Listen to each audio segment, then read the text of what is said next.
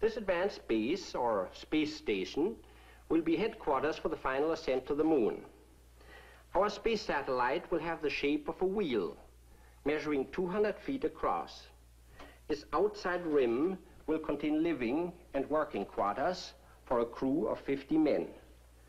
Just below the radio and radar antenna is the atomic reactor. Its seat will be used to drive a turbo generator, which supplies the station with electricity. Access to the station will be through an airlock in the hub.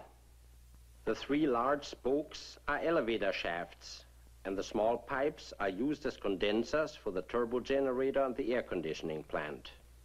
The entire wheel will slowly rotate at three revolutions per minute. The resulting centrifugal force will produce an artificial gravity for the men in the rim. Notice that the floors are placed so that the men stand with their heads towards the hub. The wheel is divided into nine sections. The first section is headquarters and communications. The next section will be for Earth weather observation and prediction.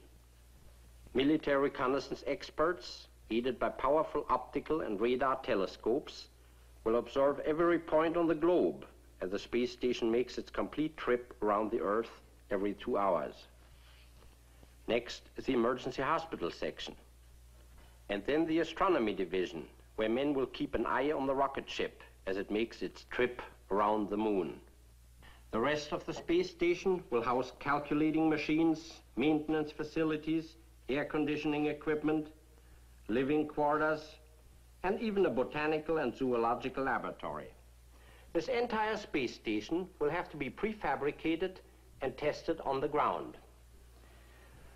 After dismantling, it will be transported in pieces up to the orbit. Construction of the space wheel now begins. The sides of the cargo nose are mechanically separated. Built-in tanks of compressed air inflate this large plastic inner section of the hub. Thin metal plates are immediately clamped on the outside to protect it from meteors. The first workday in space draws to a close.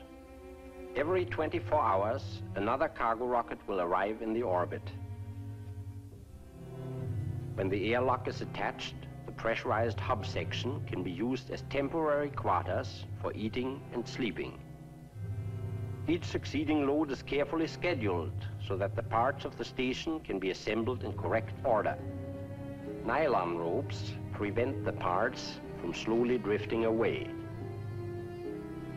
Next, the atomic reactor is installed. The wheel begins to take shape now as the three main spokes and rim sections are joined together. Condenser pipes are fitted next so that the atomic reactor may be put in operation. Even though there's no apparent motion, everything in the orbit is hurtling around the Earth at 16,000 miles per hour. The shell of the station is completed. Now comes the delicate task of installing instruments and the multitude of equipment inside.